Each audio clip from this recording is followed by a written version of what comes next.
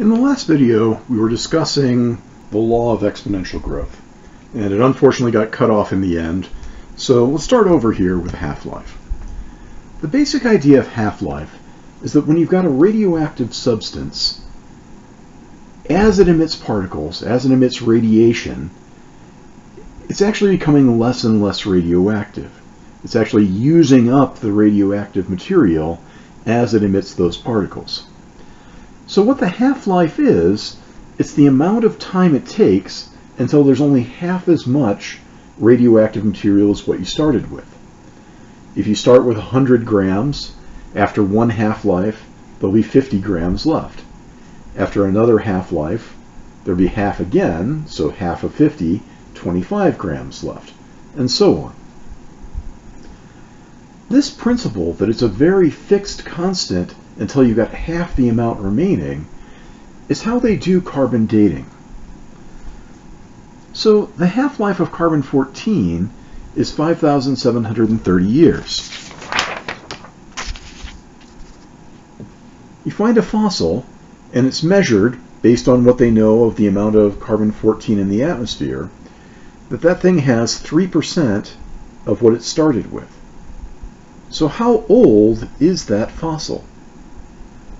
Just like in the other problem, we're going to go ahead, we need to figure out what the k is in the p equals p0 e to the kt. But the problem is it doesn't seem like there's any numbers here for what the populations are. It doesn't actually mention how much carbon-14 we have. But that's okay because we can just go ahead and use it in terms of percentages. The original amount it started with is 100%. So I'll just put in 100 for the population. Then, because of the whole idea of half-life, I know that when the time passed is 5730, 5,730 years, there's half of it remaining. So 50% is what remains. We can just do those populations in terms of percentages, and then we can work it out as normal. So just like in the last problem, I've got to go ahead and figure out what k is. I can divide by 100, and 50 over 100 would give me 1 half is equal to e to the k times 5,730. I can then take the natural log of both sides.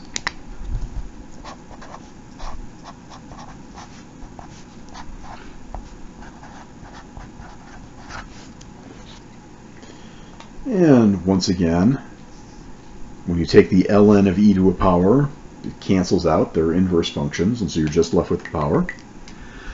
So my k is the ln of 1 half over 5,730. Now there's two things about this. First thing that you want to notice, when you plug this into the calculator, you get a negative number. And to some extent that makes sense. That should make sense because remember the k is kind of a measure of how fast it's growing. And here we've got something that's dying out. We're getting less and less material there instead of more and more. So we have negative growth.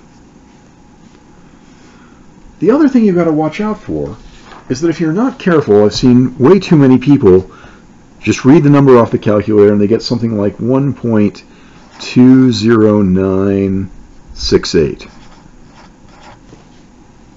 And they try to do the problem using that number. The problem is, if you actually look carefully, at the end, it depends on what your calculator is, but it'll probably say something like E negative 4. What that E negative 4 is, is it's saying that the decimal point should be shifted four places to the left. This is actually negative 0.000120968.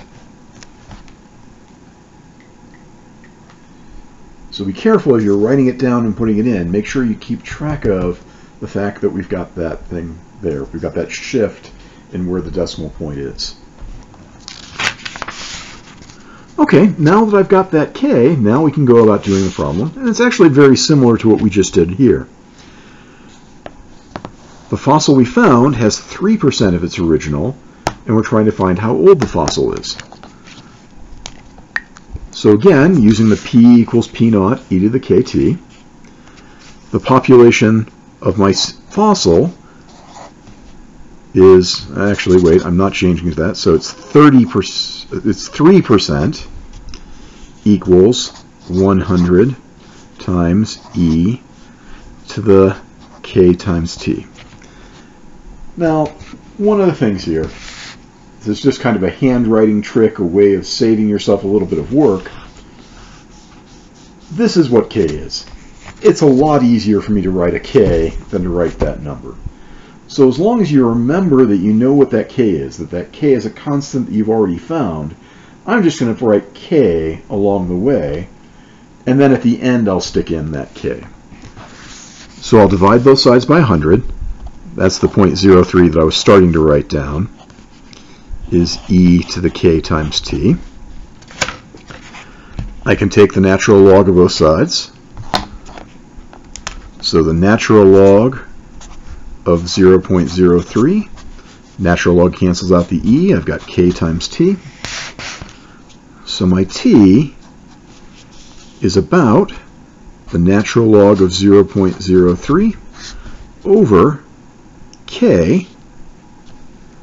Now I'll go ahead and put that in, 0.000120968.